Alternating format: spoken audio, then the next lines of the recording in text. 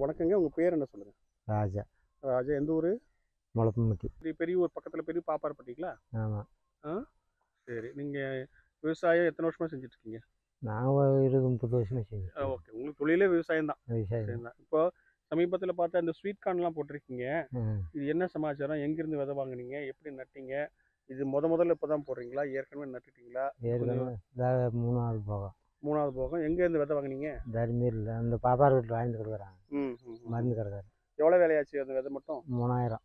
அதாவது எவ்வளோ kilo kilo? மூணாயிரம். கிலோ மூணாயிரம் ரூபா விதை விதை வருது. ம். அப்புறம் இது வந்து நீங்கள் சரி இது வந்து ஏற்கனவே ஒரு தடவை போட்டிருக்கீங்களா? ஆமாம் போட்டு இருக்கு போட்டு என்ன விலை என்ன மகசூல் வந்துச்சு? என்ன லாபம் வந்துச்சு? என்ன செலவாச்சு? அதான் மட்டும் போடுங்க. மொதல் சரியில்லை. பாரு இது ஆ, பாரு அந்த கைனும் போட்டிருந்தோம் ஆ. ஒரு பத்தாயிரம் ரூபாய் செலவாச்சு ஒரு முப்பத்தஞ்சாயிரம் ரூபாய் வந்துச்சு.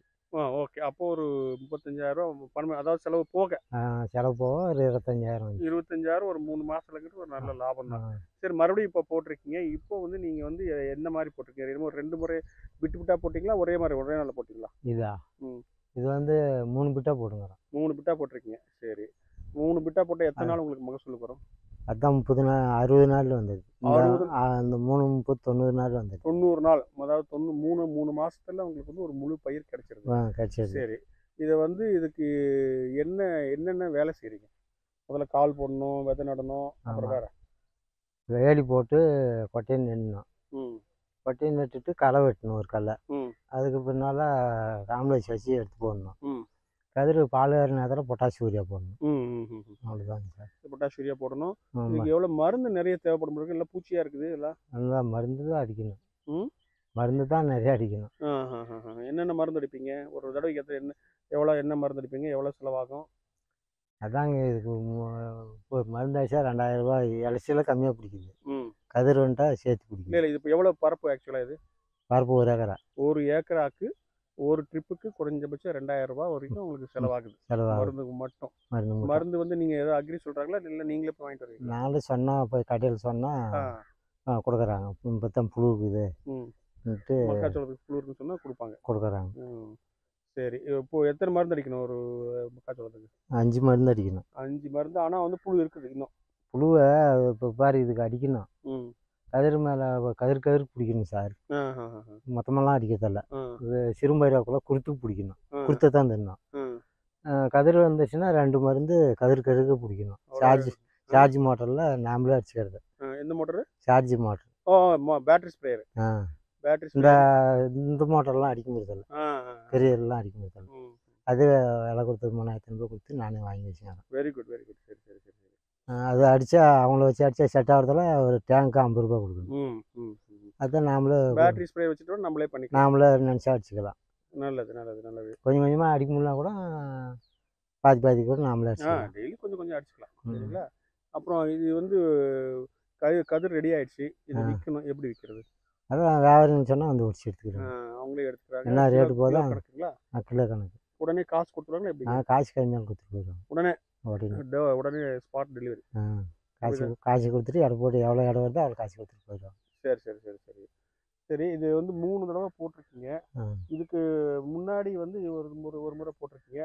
இதில் வந்து இன்னும் என்ன பிரச்சனை வந்தால் என்ன இதுக்கு வந்து பூச்சி மருந்து நிறைய அடிக்கிறீங்க. இதெல்லாம் நாங்கள் சாப்பிட்றது இல்லையா. அதனால வந்து நீங்கள் புழுவு தான் சார். பூசிலாம் இல்லை. புழுவு தான் புழு தான் அந்த மருந்து அடிக்கிறது அது அதில் காயில் இருக்கும்ல. அது அடித்தா செத்துருமா புழுவு? நீ சொன்னது. நாங்கள் சொன்னது புழு சாகாது. அதுக்கு பிடிக்காது.